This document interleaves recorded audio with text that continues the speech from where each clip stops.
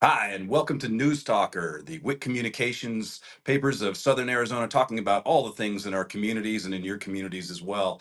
I'm Matt Hickman, managing editor of the Herald Review Media in Sierra Vista, Arizona, joined today, as always, by Dan Shearer, managing editor of the Green Valley News, Tom Bodus, managing editor of the Eastern Arizona Courier and the Copper Era, as well as Nogales International publisher Manuel Coppola. Thank you, gentlemen, for joining me so much. Got through all that with remembering everybody's name without getting too far ahead of myself. But how could you not get up too far ahead of yourself? Because we are almost to primary season. The real votes will start counting. July 3rd is the beginning of early voting. So people who get their ballots in the mail have up until July 30th to vote or to vote at the polls by July 30th. Uh, that means if you want to be part of this very important election season, you have to be registered by July 1 uh, to be eligible to vote in the July 30 primary. Uh, let's talk a little bit about the importance you see in um, in, uh, in, in voting, and uh, you know maybe there's some areas in, in some places you guys know where in your particular areas where people can go sign up to vote if they uh, if they haven't already. Dan, you want to just give us a couple of pointers there? What you what you know out there? You know, I met some people this week who um, were from out of state and um, they couldn't even tell me who the governor of their state was. And I encouraged them to not vote this year.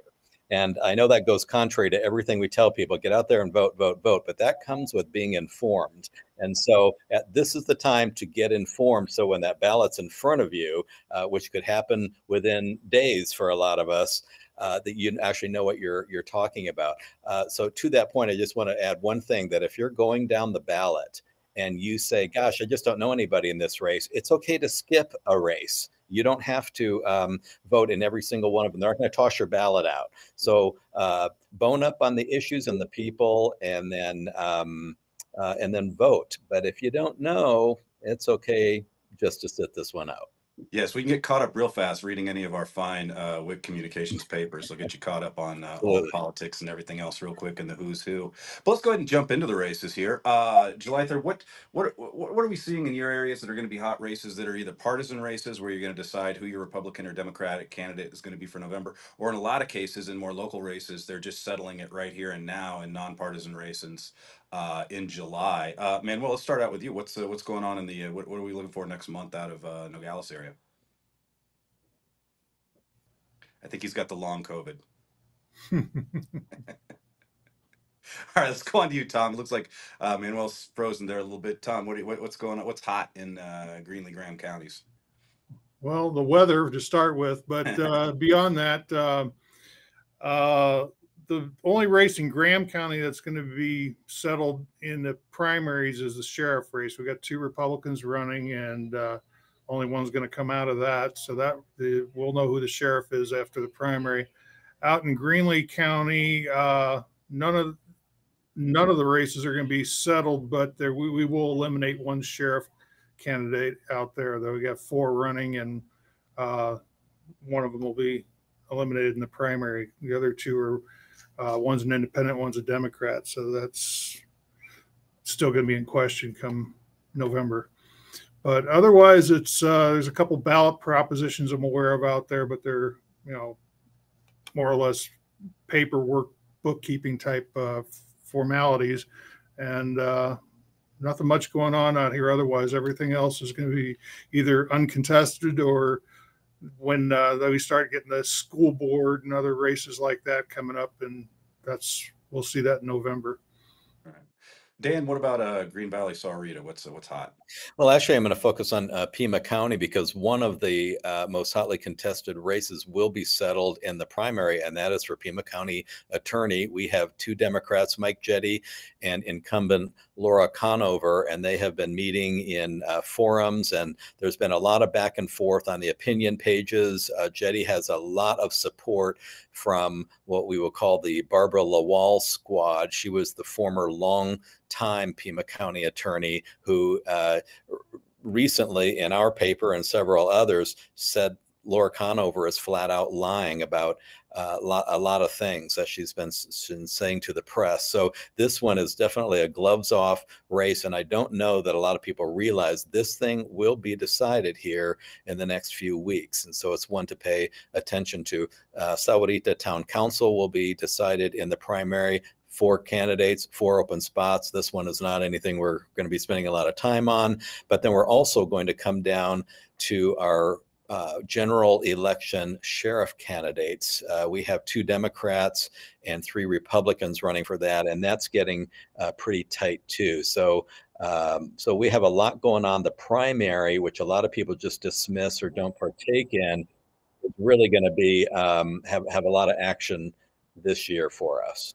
Mhm. Yeah, that um, sheriff race, we picked that up from your site, put it on our site. It's gotten a lot of traction. People, you know, in Cochise County are very interested in what sheriffs everywhere think, you know, in, in the border region in general. Uh, there's also a woman running in that race. And I was just thinking out loud, I couldn't think, I can't think of a woman ever being elected sheriff anywhere in the country. And would this be a first and I- and I believe she said that her name is Heather Lappin. She currently works for the Fayette County Sheriff's Department in the in corrections, and she's out there. Um, she if she wins the GOP primary, she will be facing her boss Chris Nanos in the uh, general election if he wins the Democratic primary. And uh, Smart Money says that those two are the ones whose uh, names are going to be on the ballot in November. But you're exactly right, uh, first female. Uh, but at this point, uh, people just want somebody who can actually get in there and do the job. And um, I have been debates uh, to debates involving all of the candidates, and uh, they're you know they got their talking points and everything. But if you look close, there are big differences among the candidates. So uh, as you pointed out earlier, read our coverage because it's all right there. Yeah, and before we kick it on over to uh, Manuel about uh, Nogales races, a, candidate we all share in uh, Congressional District 6 is Juan Ciscomani, freshman. Uh, he's running against um, Kathleen Winn, uh, who went against him two years ago, picked up 18% of the vote in the primary. Another fellow, uh, Brandon Martin, got a little bit ahead, 20.1. But if you put the two, and a lot of people think Winn has no chance against Ciscomani, him being uh, the incumbent um, bring a lot of money to the area and co- completely outspending her. But you kind of wonder because, as you're saying, these are primaries; these are not elections. You, th- this is not the time to be centrist. This is not the time to be everybody's candidate in a primary, especially in this charged environment, especially on the Republican Party. Do you think Ciscomani's in any danger uh, in a Republican primary? That to you, Dan. I don't think he's in danger in a Republican primary in uh, the least. Um, uh, I spoke with him recently, and he pointed out that he's in one of the few competitive congressional districts in the nation. He said out of 435 districts, there are 18 that are truly competitive. His is one of them. That's where the real battle will be. Uh, Kirsten Engel, who he faced uh, two years ago and beat by a very small margin, is is back and strong. Uh, we'll see what happens. Kathleen Winn is a fly buzzing around his head. She is really uh, not an issue uh, in in the primary. Uh, Manuel, let's talk a little bit about Nogales and Rio Rico and that whole uh, neck of the woods. What's going What's going on there next month? What's hot? Well, I'll tell you, we've got 23 local candidates and uh, 20, 28 local candidates, and we're trying to interview the majority of them, and it's quite the task. Uh, we were going to do uh, video interviews in that, as I explained before, but that all kind of went by the wayside. Uh, um, so we're doing sit down interviews with them, and uh, it's it's interesting. It, it's great to see the participation, but uh, the talking points aren't very different that I can tell. And um, the big curveball that the incumbents have at the county, the board of supervisors in particular, is this whole embezzlement uh, allegation against the uh, former county treasurer. Uh, we're starting to see uh, reports from the auditor general from 2017 that uh, red flagged a lot of things that apparently never got addressed or didn't get addressed uh, adequately. And so we've got what we've got now. I think four million dollars is just the tip of the iceberg of what they're going to find missing. And so people are wondering, you know, what were the board of super, what was the board of supervisors doing? Where, where's the oversight? And it's easy to point fingers at the uh, former county manager, for example, but they have just as much to do with uh, this thing going on as long as it did, in my opinion. Yeah, Cochise County. So there's going to be some backlash. Yeah. that that'll be interesting to watch. Also, Cochise County, we have a, some really competitive and just really interesting and colorful mayoral races in some of our smaller communities. Uh, out in Douglas, we have uh, the person uh, Don Huish, the very well known, well respected uh, mayor, is stepping down, not running for reelection. Uh, so. George Grijalva is uh, would seem to be the uh, next in place, but he had a late writing candidate come against him in a very uh, kind of bombastic business owner of Borderland Chevrolet by the name of Mark Murmis, who's uh, quite the firebrand, uh, a newcomer to the area. So he's promising to bring all kinds of new revitalization to Douglas, and he's doing it in a writing campaign. Uh, it's gotten very kind of nasty with Murmis making comments about Grijalva's uh, uh, disabilities. He's legally blind and so forth. So it's gotten very, very ugly. Uh, so we'll see what goes on there. You go right up the road to Bisbee. You know, you have the incumbent Ken Budge, who seems to be fairly well liked, but you have a challenger in Gretchen Bonaduce, the ex-wife of uh, reality TV star Danny Bonaduce, uh, and she's very mixed up in the you know in the in the scene of the the, the kind of social scene in Bisbee. Uh, so you have so she's running, and you know we're not. Well, we actually, I'm I'm uh, part of a debate tonight. I'm doing the videography for a debate tonight. They're holding in Bisbee, so it'll be interesting to see what her actually policy positions are on why people should replace Ken Budge. And maybe the most colorful is out in Tombstone, and I don't know if you guys have seen any of our coverage there. This guy who started this event called uh, Tombstone Revolution, which is based on a video game, kind of a reenactment, was a big hit. Uh, out out of that, he ended up fighting with city hall and city government so badly that he decided to run for mayor. And uh, then in recent weeks he because then he said he was going to fire the marshal if elected. And then he had a conversation with the marshal and the mayor dusty Escapule who's been the mayor for 25 straight years. And he claims that they more or less intimidated him and out of running for the race. And so he's uh, apparently said in his last thing, his op-ed he wrote to our paper on Sunday, that he is out of the race, but he is not officially out of the race. Uh, you have to go through some paperwork to get your name taken off the ballot, and he refuses to do that. He says no, he's in the race. So we don't know whether he's in the race, but these are three very colorful races to watch. They'll all be decided uh, July 30th. Um, you know, and things like, and you have races like that, it kind of brings us around to what we were talking about here. Uh, you can get a lot of misinformation. You have a couple candidates just going around social media, you know, saying things about each other, a lot of operator game around town. It makes it really important to have, you know, a, a news source, a- an objective news source that can kind of play referee and be the kind of, you know, the, the bedrock people can go to to say, oh, well, people said that, people said that. This is more likely to be more true. Uh, what, what are you guys seeing as far as like, and Dan, let's, let's go to you. I know you've, you, you kind of looked into this a little bit about, you know, there's a, a lot of fake media out there and some media that's maybe not fake per se, but it is, it's, a, it's definitely driven by money and a particular political interest. What, what, what what are you seeing out there, Dan? Well, a report came out last week that says that there are now more partisan websites passing themselves off as legitimate media outlets uh, than there are American newspaper sites. Let me give you one quote from that story, and it's from NewsGuard. And NewsGuard does research and grades the veracity of news sites, and uh, they're very highly respected. The quote is The odds are now better than 50 50 that if you see a news website purporting to cover local news, it's fake. And so that is just the the the warning for readers out there to understand that there's a lot of fakes out there. In fact, more than legitimate media sites. So know what you're reading, know what their funding is, uh, know what their bent is, and, uh, and and and veer away from them if it's something that uh, you're just going to end up not trusting. Are they telling the full story? Are they even telling the story? The best way to uh, to censor news is to just not cover it. And so you have to really be a discerning reader and a critical thinker to be able to smoke out one of these sites and to um, and to make sure that you're getting accurate, fair news coverage so you can make a good decision.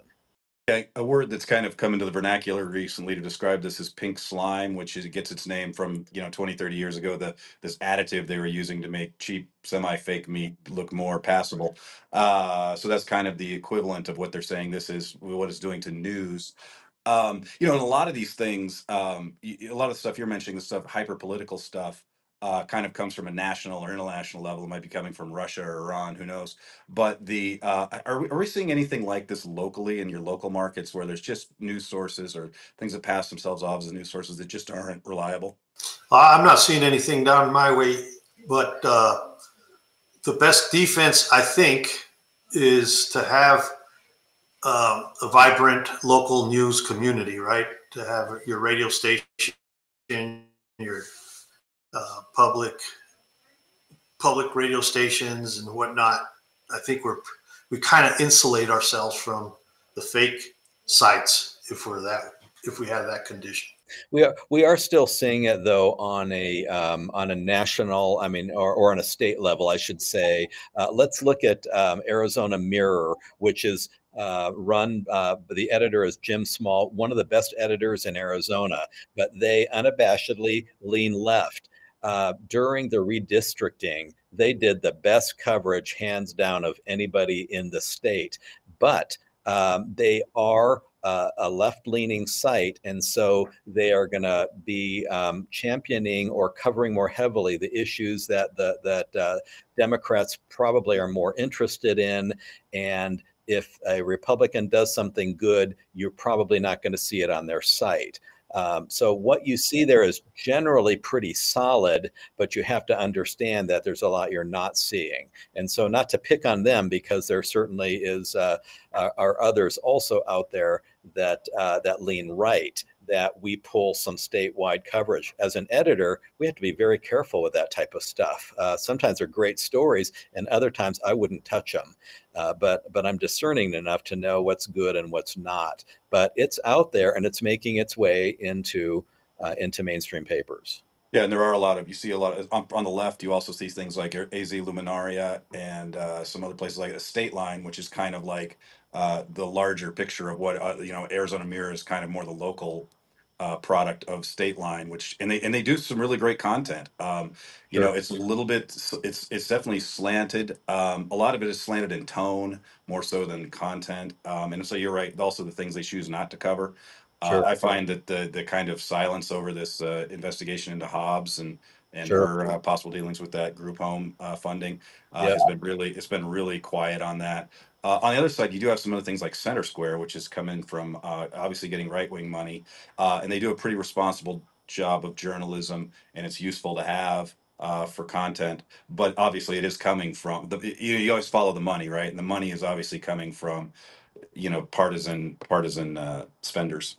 So we just, we, yeah, we just have to be really careful as editors what we use, what we put in front of our readers, and then the readers themselves, and they're going directly to these sites, have to understand again who's funding them, where is it coming from, uh, what what's uh, what's their angle, because because as this report just showed, and, and I'll give you the numbers, 1,265, uh, what they would call pink slime leaning uh, websites out there, 1,213 legitimate news sites. So uh, there are more of them than there are of us.